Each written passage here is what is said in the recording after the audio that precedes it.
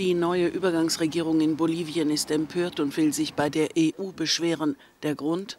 Vertreter aus Spanien haben offenbar versucht, sich Zugang zur mexikanischen Botschaft zu verschaffen.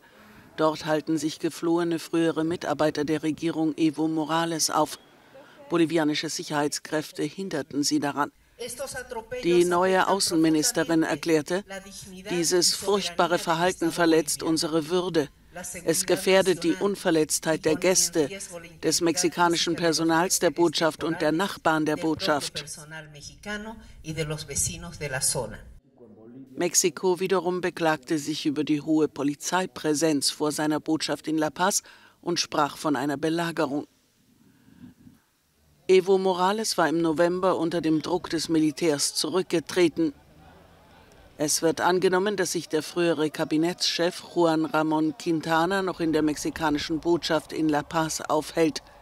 Gegen beide liegen Haftbefehle vor.